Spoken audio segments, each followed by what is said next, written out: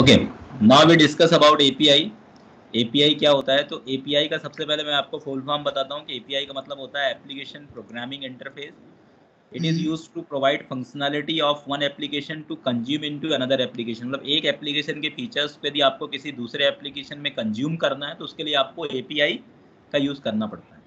API आप किसी भी टेक्नोलॉजी के अंदर बना सकते हो। It can be created by Java dot net P H P Python किसी भी वेब टेक्नोलॉजी के थ्रू आप एपीआई बना सकते हो।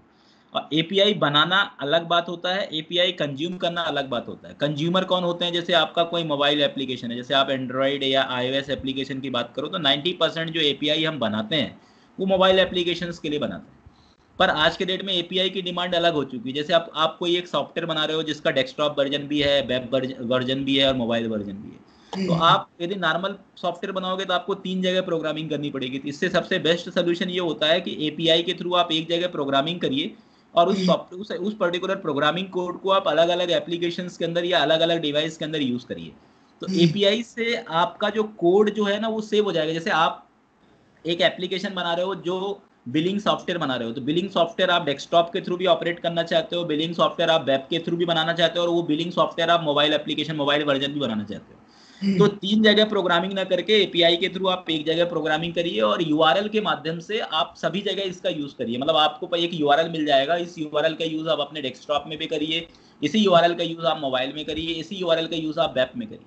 तो एपीआई। से आपका एक एक जो कोड है वो आपको एक कॉमन कोड प्रोवाइड करता है एपीआई जिसके थ्रू आप इस कोड को कहीं भी यूज़ कर सकते हो ये बहुत बड़ा प्लस पॉइंट होता है हम्म। तो यही मैंने आपको समझाया यहाँ पे कि if we want to connect or store data of one application to another application यदि आपका एक एप्लीकेशन के अंदर जो डाटा है उसको दूसरे एप्लीकेशन में यूज़ करना है ये दूसरे एप्लीकेशन से जो डाटा आ रहा है उसको आपको एक डाटाबेस में स्टोर करना है रिमोटली एक ही डाटाबेस के अंदर सभी टाइप के एप्लीकेशन को कम्युनिकेट करना है तो उसके लिए आपको एपीआई यूज़ करना पड़ेगा। For example we have common database for mobile desktop and web application which will be managed by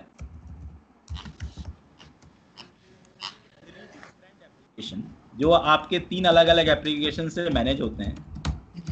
Then we can create common API and consume these API using web mobile and desktop platform और आप एक common API create करो और इस API को आप desktop mobile इन सभी platform के थ्रू इम्प्लीमेंट करो। तो एपीआई आपको क्या क्या प्रोवाइड देखो आप एपीआई बनाने के लिए आपको क्या क्या चीज़ों की ज़रूरत पड़ती है how we can create API तो मैं आपको सिंपल बताना चाहता हूँ, जैसे आप कोर पीएचपी के थ्रू भी एपीआई बना सकते हो कोडिंग नाइटर के थ्रू भी बना सकते हो लारावेल के थ्रू बना सकते हो। अभी हम स्टडी लारावेल कर रहे हैं। तो मेरा फोकस। है कि हम आपको लारावेल के थ्रू कैसे एपीआई बनाते हैं। तो लारावेल के थ्रू एपीआई बनाना बहुत ही आसान है। यदि आप लारावेल फ्रेमवर्क के अंदर आपने काम किया हुआ है तो मैं आपको बताना चाहता हूँ कि देखो, सबसे पहले एपीआई के लिए पाथ क्रिएट करना पड़ता है। तो आपको पाथ क्रिएट करने के लिए सबसे पहले आपको राउट्स में जाना है। राउट्स में जाने के बाद आप वेब डॉट पी में जाइए और जितने पाथ आपको, जितने टाइप के एपीआई बनाना है उन सभी के लिए आप अलग अलग पाथ बना लो। जैसे आपको गेट टाइप की एपीआई बनाना है पोस्ट टाइप की बनाना है पुट टाइप की बनाना है डिलीट टाइप की क्योंकि एपीआई में चार अलग अलग प्रोटोकॉल्स होते हैं।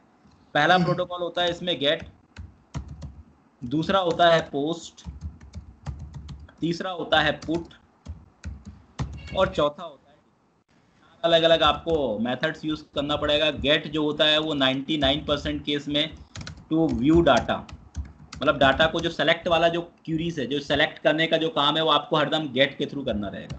ठीक है? पोस्ट के अंदर जो आपका इंसर्शन है it is use to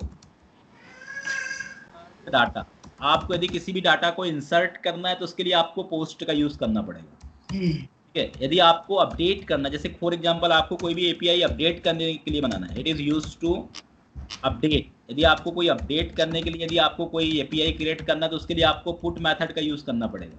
हम्म। और यदि आपको किसी भी डाटा को डिलीट करना है यदि आपको कोई डिलीट करने के लिए कोई एपीआई बनाना है तो इसके लिए आपको डिलीट मेथड का यूज़ करना पड़ेगा। और इन सभी मेथड्स का के थ्रू आपको अलग अलग यूआरएल बनाना पड़ेगा। और इन सभी यूआरएल को डिफाइन करने का तरीका वही है कि हम्म। आपको कंट्रोलर के अंदर ही इनको डिफाइन करना है। जैसे हमने इसके पहले कंट्रोलर बनाया था तो सेम आपको कंट्रोलर वैसे ही बनाना है। लारावेल में कोई अलग तरीका नहीं है कंट्रोलर बनाने का। और इस कंट्रोलर के अंदर आप इन सभी मेथड्स को डिफाइन कर लो। जो मेथड्स आपके यूजफुल हैं जैसे अपन ने यहाँ पे कंट्रोलर के अंदर जैसे एडिशन के लिए अपन ने यहाँ पे बनाया था जैसे फाइंड रिकॉर्ड बनाया था। ठीक है फ़ाइल रिकॉर्ड पूरा सब कुछ सेम रहेगा बस ये जैसे अपन यहाँ पे रिटर्न व्यू कर रहे हैं तो यहाँ पे रिटर्न व्यू ना करके अपने को यहाँ पे रिटर्न जीएसएन करना पड़ेगा बस। मतलब आपको पूरा डाटा किसके फॉर्म में भेजना पड़ेगा? जीएसएन के फॉर्म में भेजना पड़ेगा क्योंकि आपको ये पता होना चाहिए कि जीएसएन एक ऐसा पर्टिकुलर ऑब्जेक्ट है जो सभी के लिए कॉमन है। जैसे आप सोचो कि जो आपका पीएचपी है ये सिर्फ़ पीएचपी ही समझता है। जावा का जावा ही समझता है। लेकिन जेएसएन का एक पर्टिकुलर एक जेएसएन मतलब होता है जावा स्क्रिप्ट ऑब्जेक्ट नोटेशन जो सभी के सभी डिवाइस समझते हैं। यदि आपने जेएसएन फॉर्म में कोई डेटा रिटर्न किया तो उसको मोबाइल एप्लीकेशन बहुत आसानी से क्या कर सकता है? उसको मैनेज कर सकता है। ठीक है? जेएसएन को ज़्यादा प्रायोरिटी देते हैं। तो मैंने यहाँ पर एक छोटा सा आर्टिकल्स भी रिफर किया है। इस आर्टिकल के माध्यम से भी आप रेस्टफुल देखो एपीआई दो टाइप के होते हैं। एक होता है सोप और एक होता है रेस्ट सोप तो अब आउटडेट हो गया क्योंकि सोप जो होता है ना वो सिंपल ऑब्जेक्ट एक्सेस प्रोटोकॉल होता है और ये एक्सएमएल रिटर्न करता है मोस्टली तो सोप का यूज़ अब कम किया जाता है। आज के डेट में रेस्ट एपीआई का यूज़ ज़्यादा किया जाता है क्योंकि रेस्ट एपीआई बहुत लाइट वेटेड होता है और रेस्ट एपीआई जो होता है ना वो आपको जेएसएन रिटर्न करेगा। तो हम्म। मैं आपको ये बताना चाहता हूँ देखो जो सिंपल स्टेप्स है कि पहले आप एक मॉडल बना लो यदि आपको ज़रूरत नहीं है मॉडल बनाने की यदि आपके पास ऑलरेडी कोई मॉडल बना हुआ है तो आप उसी का यूज़ कर सके क्योंकि आपको पता होना चाहिए कि मॉडल किसके लिए होता है डाटाबेस के लिए होता है हम्म। तो यहाँ पर इस एग्ज़ाम्पल में सिंपल पहले एक मॉडल बनाया है इस मॉडल के अंदर दो मेथड आपका मॉडल के अंदर माइग्रेशन आपको पता है माइग्रेशन फ़ाइल बनता है जिसमें आप और डाउन होता है आप किसके लिए होता है टेबल बनाने के लिए होता है तो यहाँ पे एक टेबल बनाया आर्टिकल्स नाम से जिसके अंदर पहला फ़ील्ड हम्म। है आपका आईडी जो ऑटो इंक्रीमेंट है ठीक है और डाउन में अपन टेबल को हटा सकते हैं अप एंड डाउन मेथड ये मैंने पहले डिस्कशन कर चुका हूँ। अब यहाँ पर आप टेबल के अंदर चाहो तो टाइटल बॉडी ये तीन अलग अलग कॉलम बना दिया। पहला कॉलम आईडी है, दूसरा टाइटल है, तीसरा बॉडी मतलब ये टेबल है एक आर्टिकल्स नाम से, ठीक है? मतलब अपन ने एक टेबल बना लिया।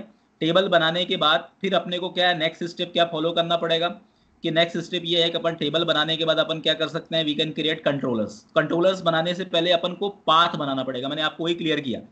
कि एपीआई का भी पाथ होता है तो आप पाथ बना लो, इस तरीके से भी चाहो तो मैनेज कर लो आर्टिकल फ़ंक्शन आर्टिकल ऑल इसका मतलब ये होगा कि जैसे आप आर्टिकल्स कॉल करोगे यूआरएल में तो आपका पूरे आर्टिकल दिख जाएँगे। यदि आप पर्टी पैरामीटराइज देखो ये गेट भी पैरामीटराइज है, ये पोस्ट के लिए अपन ने बना लिया क्रिएट करके, ये पुट बना लिया अपडेट करके डिलीट बना लिया डिलीट करके, अब इनको आप चाहो तो अपने एप्लीकेशन में क्या कर सकते हो, एक कंट्रोलर बना लिया, इस कंट्रोलर के अंदर अलग अलग मेथड बना लिया शो इंडेक्स बनाया शो बनाया स्टोर बनाया अपडेट बनाया डिलीट बनाया और इन सभी मेथड्स के अलग अलग अपन ने यूआरएल बना लिए सभी यूआरएल और इन यूआरएल के माध्यम से आपको जहाँ पर भी इसको एक्सेस करना है वहाँ पे अब यहाँ पे देख सकते हो कि अपन रिटर्न क्या करना है यहाँ पे जेएसएन रिटर्न कर रहे हैं। यहाँ पे क्या रिटर्न कर रहे हैं? जेएसएन क्योंकि जेएसएन जो होता है ना वो आसानी से कोई भी एप्लीकेशन इसको समझ सकता है। तो ये एक सिंपल एग्ज़ाम्पल है कि आपको एपीआई आपको कोई अलग से कोई स्कीम पैटर्न फॉलो नहीं करना है। हेलो हाँ, हाँ सर चलो ठीक है एपीआई में कोई अलग से आपको इम्प्लीमेंटेशन नहीं करना आप जो प्रोग्रामिंग कर रहे थे वही प्रोग्रामिंग रहेगा बस डिफरेंस ये रहेगा एपीआई में कि एपीआई का जो रिटर्न रहता है ना वो आपको जेएसएन के फॉर्म में डेटा को रिटर्न करना पड़ेगा। किस फॉर्म में करना पड़ेगा? जेएसएन के फॉर्म में बस। और बाकी कुछ भी नहीं है आपको ये यूआरएल मिल जाएगा इस यू को आप कंज्यूम करो क्योंकि एपीआई क्रिएट करना मतलब एक डेवलपर का काम होता है एपीआई डेवलप करना। ठीक है जैसे हम्म। अपन ने एपीआई क्रिएट कर दिया। अब एपीआई को कंज्यूम करना अब कंज्यूम करने का काम किसका होता है? ये यदि आप कोई एंड्रॉइड डेवलपर है आप एपीआई यदि एंड्रॉइड फ़ोन के अंदर यूज़ करना है तो एंड्रॉइड डेवलपर क्या करता है? एंड्रॉइड डेवलपर एपीआई को कंज्यूम करता है। आईओएस हम्म। डेवलपर क्या करता है? एपीआई को कंज्यूम करता है। तो एपीआई हम्म। आपको यूआरएल के माध्यम से मिलेगा। ठीक है जैसे मैं आपको एक सिंपल एग्ज़ाम्पल देना चाहता हूँ जैसे मैंने कुछ एपीआई बना के रखे हैं।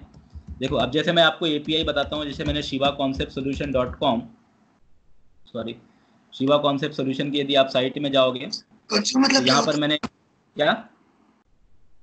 कंज्यूम का क्या मतलब हुआ कंज्यूम कंज्यूम मतलब होता है उसको यूज़ करना अच्छा। एपीआई को यूज़ करना जैसे आपने एपीआई बना के दे दिया अब उसको यूज़ आप थोड़ी करोगे जो एंड्रॉइड वाला होगा वो करेगा ना अच्छा। तो अपन एपीआई में जेएसएन इसलिए रिटर्न करके देते हैं क्योंकि जेएसएन एक ऐसा पर्टिकुलर स्क्रिप्ट जैसे ये देखो अब ये एपीआई है ये कोर पीएचपी बना हुआ है अब ये एपीआई सामने वाला यदि कोई भी एंड्रॉइड वाला यूज़ करेगा तो इसके अंदर आउटपुट आपको किस फॉर्म में मिल रहा है जेएसएन और जेएसएन हम्म। एक ऐसा फॉर्मेट है जिसको कोई भी रीड कर सकता है।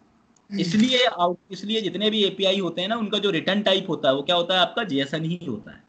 ये देखो जैसे ये एपीआई में बना के रखा हूँ ठीक है? तो ये एपीआई जो है अब आप शो वाले एपीआई हैं इनका टेस्टिंग आप कर सकते हो ठीक है? हम्म। ऐसे आपका सेलेक्ट वाले जैसे registration dot P H P अब ये पोस्ट एपीआई है इसको आप यूआरएल के माध्यम से टेस्ट नहीं कर सकते इसके लिए आपको पोस्टमैन का यूज़ करना पड़ेगा। हम्म। तो पोस्टमैन एक्चुअली क्या होता है ये एक ये पर्टिकुलर आपका प्लगइन होता है पोस्टमैन इस प्लगइन के माध्यम से आप बहुत आसानी से किसी भी एपीआई को टेस्ट कर सकते हो। मतलब यदि हम्म। आप एपीआई की टेस्टिंग करनी है तो आप इसके थ्रू बहुत आसानी से कर सकते हो। ठीक है? तो ये क्रोम के अंदर आपका पोस्टमैन नाम से एक टूल है। क्रोम के अंदर ऐप स्टोर में आप जाओगे तो पोस्टमैन आपको मिल जाएगा और उस पोस्टमैन के थ्रू आप आपने चलाया है? पोस्टमैन यूज़ किया है कभी? हाँ सर एक बार किया हाँ, तो बस पोस्टमैन के थ्रू जाकर करके आप चेक कर लो। ठीक है? तो एपीआई का मतलब यही है कि एपीआई के थ्रू आप अपने डेटा को यूआरएल के थ्रू मैनेज कर सकते हो और आपका पूरा वर्किंग वही है। कंट्रोलर आपको बिल्कुल सेम बस आपको यूआरएल में ऐसा बनाना है यूआरएल ये किसके लिए हो गया? ये हो गया सेलेक्ट ऑल के लिए ये किसके लिए हो गया फाइंड करने के लिए ये किसके लिए हो गया इंसर्ट के लिए ये किसके लिए हो गया अपडेट के लिए ये किसके लिए हो गया डिलीट के लिए। ठीक है? और ये अपन ने मेथड यहाँ पे क्रिएट कर दी भाई एट द रेट डिलीट से अपन ने डिलीट बनाया एट द रेट अपडेट से अपन ने अपडेट का बनाया एट द रेट स्टोर से अपन ने स्टोर मतलब सेलेक्ट का बनाया एट द रेट शो से अपन ने शो का बनाया एट द रेट तो आप इस एग्ज़ाम्पल को चला करके एक बार देखना और यदि किसी भी टाइप की कोई प्रॉब्लम आती है तो आप मुझे बताना ठीक है? मैं इस पर डिस्कशन करूँगा। तो आप तो मतलब आप ये बोल सकते हो कि लारा वेल में सबसे सिंपलेस्ट फॉर्म में एपीआई क्रिएट होता है क्योंकि लारा वेल के अंदर का जो पूरा प्रोजेक्ट लारा वेल को बनाया ही इसीलिए गया था ठीक है? लारा को बनाया ही इसीलिए गया था एपीआई पर्पज से। तो आपके पूरे मेथड सब कुछ सेम रहेंगे। जैसे आपने इंडेक्स के लिए जैसे आप एक इंडेक्स मेथड बनाओ जिसके अंदर आपको सिंपल कोड क्या लिखना है इंडेक्स मेथड में आपको कोड लिखना है आर्टिकल कोलन ऑल आर्टिकल मतलब अपने अपना मॉडल का नाम क्या है? अपने मॉडल का नाम शायद अपन ने मॉडल किस नाम से बनाया टेबल किस नाम से बनाया स्टूडेंट तो अपन क्या लिख देंगे? स्टूडेंट कोलन ऑल अच्छा। आर्टिकल्स ये शो ये पर्टिकुलर रिकॉर्ड के लिए हो गया स्टोर करने के लिए अपने को इस तरीके से मैनेज हो गया। तो रिक्वेस्ट तो आपको पता है रिक्वेस्ट में क्या होगा जो भी यूआरएल के अंदर का जो डाटा आएगा वो किसके अंदर आता है? रिक्वेस्ट ऑब्जेक्ट के अंदर आता है। क्रिएट से क्या हो जाएगा आपका पूरा टेबल में आपका डाटा स्टोर हो जाएगा। अपडेट के लिए देखो सिंपल एक मेथड क्या है अपडेट मेथड तो आप ये पूरा जो सिंटेक्स पैटर्न है ना पूरा इसको आपको स्टेप बाय स्टेप फॉलो करना है। ये आर्टिकल से आपको समझ में आ जाएगा किस तरीके से हमें बनाना है। पूरा स्टार्टिंग से चलो बाहर चाहे बाहर चले चाहे तो आप पूरा स्टार्टिंग से स्टेप फ़र्स्ट से आप इसको इम्प्लीमेंट करो कि पहले स्टेप में आप एक मॉडल क्रिएट करो दूसरे स्टेप में आप मॉडल क्रिएट करने के बाद ये टेबल्स बनाओ पूरा स्टेप इसका फॉलो करो जो आपको और अच्छे से आसानी से समझ में आ जाएगा। अच्छा ठीक ठीक है? Yes sir